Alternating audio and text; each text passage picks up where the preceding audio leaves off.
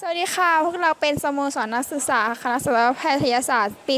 2557 นะคะ เราจะมาสอนการทำบนส4ค่ะ ก่อนอื่นก็เข้าระบบของ CMU Seed นะคะ เข้าที่ Miss CMU ค่ะ เป็นระบบสารสนเทศนะคะ จากนั้นเราก็จะกดล็อกอินเข้าไปค่ะ โดยใช้รหัสยกตัวอย่างนะคะ อย่างเช่น รหัสของดิฉันเองนะคะ ค่ะ ก็จะใส่รหัสแล้วก็ใส่รหัสผ่านเข้าไป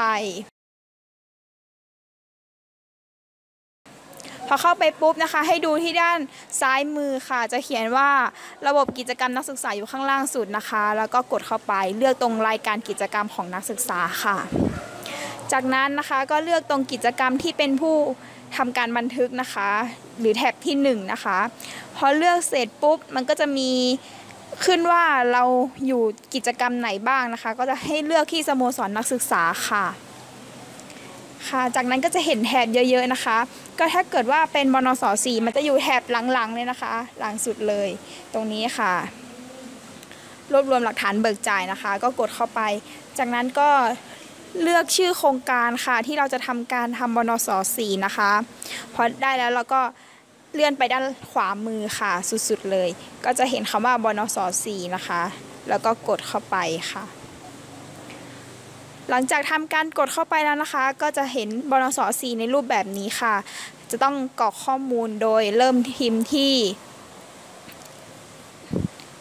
ตรงนี้นะคะให้พิมพ์ที่สอนอจุดสพจุดทับ2557 นะคะ จากนั้นลงมาเรียนอธิการบดีค่ะ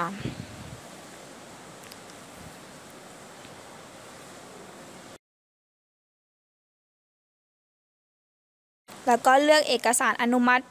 กิจกรรมให้เป็นบนสสองนะคะ แต่ถ้าเกิดว่าเป็นโครงการจัดซื้อจัดจ้างก็ให้ใช้บนสสามนะคะ ในกรณีนี้เราก็จะยกตัวอย่างเป็นบนสสองนะคะแล้วก็ตรงนี้นะคะถ้าเกิดว่าเป็นตัวอักษรสีเทาๆนี้จะกรอกไม่ได้นะคะ ให้กรอกที่ตัวอักษรสีดำๆแทนนะคะ ก็คืออันนี้ให้ใส่จำนวนจริงที่เข้าจัดกิจกรรมจริงนะคะ จำนวนผู้เข้าร่วมกิจกรรมจริง ๆ ค่ะ แล้วก็พอถ้าใส่เรียบร้อยแล้วนะคะ มันก็จะมีการบวกเลขให้อยู่ตรงแถบสีที่เราเป็นแถบสีเทาๆนะคะ เราก็จะได้ตัวเลขมา จากนั้นนะคะตรงช่องของการบรรลุวัตถุประสงค์นะคะ ก็คือให้บอกว่าเราบรรลุวัตถุประสงค์หรือเปล่านะคะ ค่ะจากนั้นก็จะเป็น ความสำเร็จของโครงการตามดัชนีชีวะนะคะก็ให้ยึดตามดัชนีชีวะที่กำหนดตั้งแต่ตอนเริ่มแรกของโครงการ ในบนสสองแล้วก็ตัวจัดโครงการนะคะ แล้วก็จากนั้นก็จะเป็นปัญหาอุปสรรค อันนี้เราก็จะดูว่าโครงการของเรามีปัญหาและอุปสรรคยังไงนะคะ ก็อาจจะเอามาจากแบบประเมินนะคะ หรือสรุปโครงการก็ได้นะคะ แล้วก็พิมพ์ข้อเสนอแนะลงมาค่ะ ถึงส่วนของบินนะคะก็ให้พิมพ์ชื่อร้านค้าแบบเต็มนะคะ ที่หัวบินเป็นชื่อแบบไหนก็ให้พิมพ์แบบเต็มเข้าไปเลยนะคะ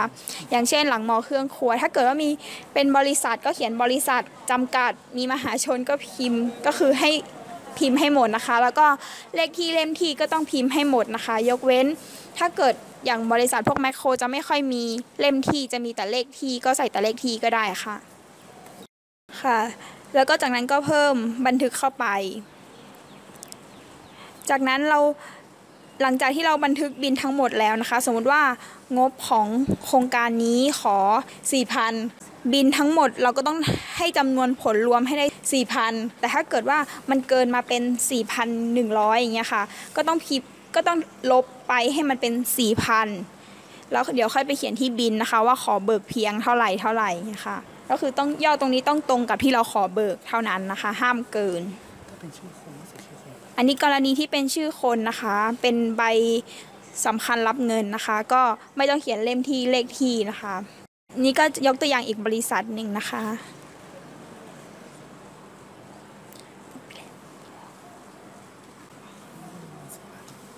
ค่ะสมมุติว่าได้ยอด4,000 มาแล้วนะคะ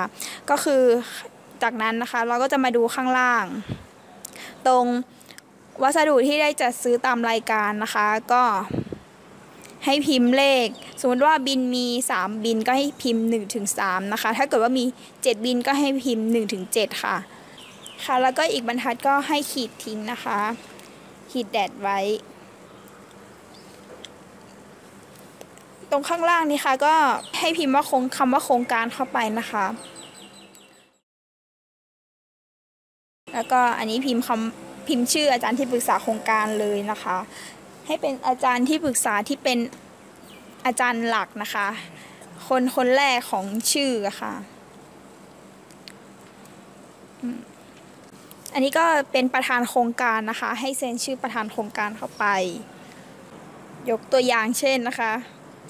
นายรักเรียนเรียนดีค่ะ ค่ะแล้วก็ตรงชื่อประธานฝ่ายไม่ต้องใส่นะคะ แต่ตรงชื่อนายกสโมให้ใส่เป็นชื่อนายพิพัฒน์นะคะกอศินวัฒนาอย่าอย่าพิมพ์ผิดนะคะ แล้วก็พิมพ์คณะสัตวแพทย์เข้าไปค่ะ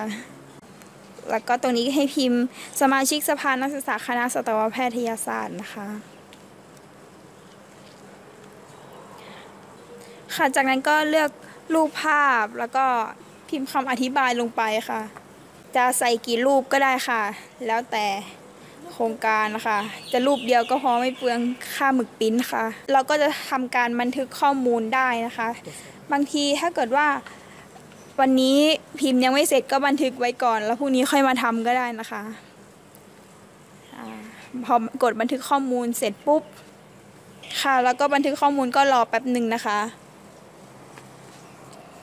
ค่ะพอได้บนสสี่มาแล้วนะคะ ก็ทำการตรวจสอบนะคะว่ามันถูกต้องไหมนะคะ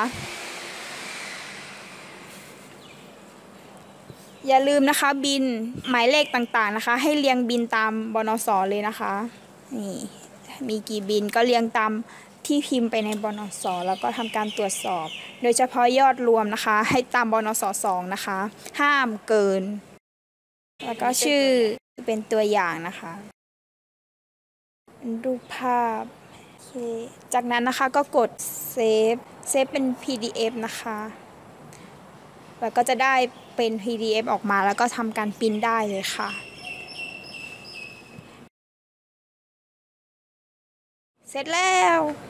เย้ ขอให้น้องๆทุกคนโชคดีกับการทำวัวนสสีนะคะ แล้วก็อย่าลืม รายละเอียดตรงบินให้เรียบร้อยให้เรียงลำดับตามที่พิมพ์มาไว้ เช็คตัวอักษรถูกผิดให้เรียบร้อยเนาะจะได้ไม่ต้องแก้ไขกันหลายรอบประหยัดทรัพยากรกระดาษค่ะ